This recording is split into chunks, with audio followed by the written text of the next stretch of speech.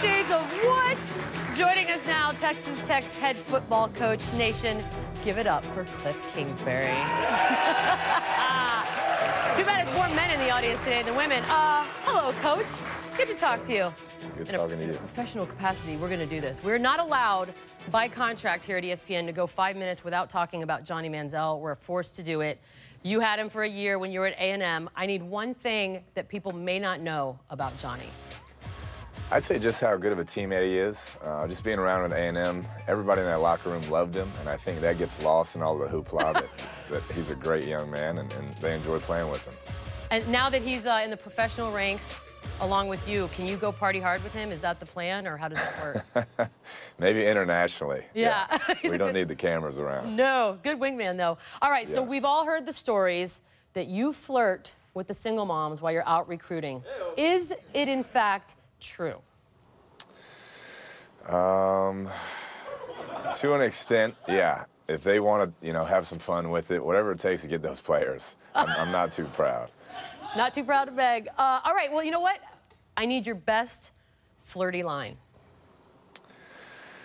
See, usually they come at me 1st Mm-hmm. um, and then it's just easier to respond. But yeah, I, I mean, yeah. All right, I'll start with this. I can see where your son gets his good looks from. Nailed it. Nailed it. All right, if I had a kid, I would maybe let him go with you. I have no idea.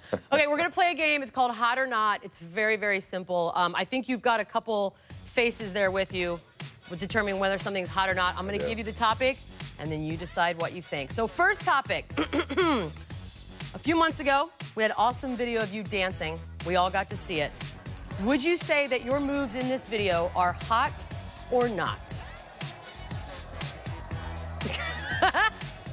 Nice.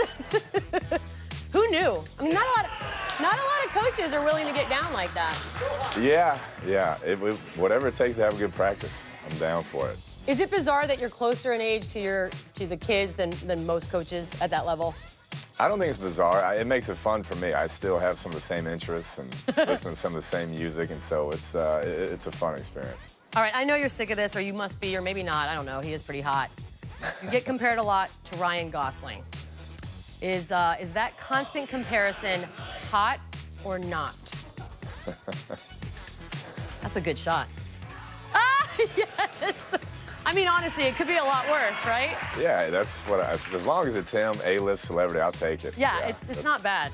It Now, could be worse. Do you think he looks at you and says, "Yeah, no, I see it," or "No way, that guy looks like me"? Probably no way. Okay. Probably, he probably doesn't know I exist, to be honest. I think Ryan knows more than we think. That's what I think. All right, this picture was the great one from the Preakness um, last year. You hanging out with Mike Tyson and Tom Brady. Um, there's a lot going on in that photo. Hanging out with Mike Tyson and Tom Brady, hot or not? They're all hot. They're all hot. Yeah. Okay. I mean, that's that's the most random picture of all time. I mean, I don't know. Like, I don't know what's going on, but how does that photo come about? It just, you know, I knew Brady from back from my playing days, and we got the courage to go ask Iron Mike, and he was awesome, man. I was scared to death of him at first, but he was really gracious and a nice man. Were you guys uh, imbibing? Was there alcoholic beverage involved?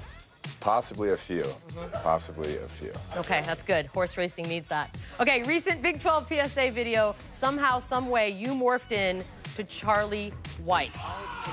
Would you describe that process as being hot or not? I mean, Yeah, that is. Uh, somebody's get, getting creative over there for that one. it's not. By the way, if you ask Charlie, he's probably like, "No, I loved it." Um, we're not gonna let that slide by. Can you hold up that not photo one more time for us? Yeah, that's a bad look. I don't know where y'all found this. Mm. That is. Um, Age. is that hot or not? What's that? I don't know. That's not. Okay, good.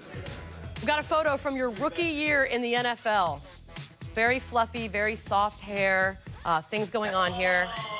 Would you label that hot or not? Uh, that's a bad luck. Do you, wait, seriously, you don't look back at that and go, oh yeah, that's cool, whatever. Yeah, you got to grow up, I guess. Some of us age like fine wine, Cliffy. It's a good That's thing. it. All right, I know the season starts right around the corner. You get a little more time off and then time to kick some butt. So, Nation, give it up for Kliff Kingsbury. Sir. And coming up next,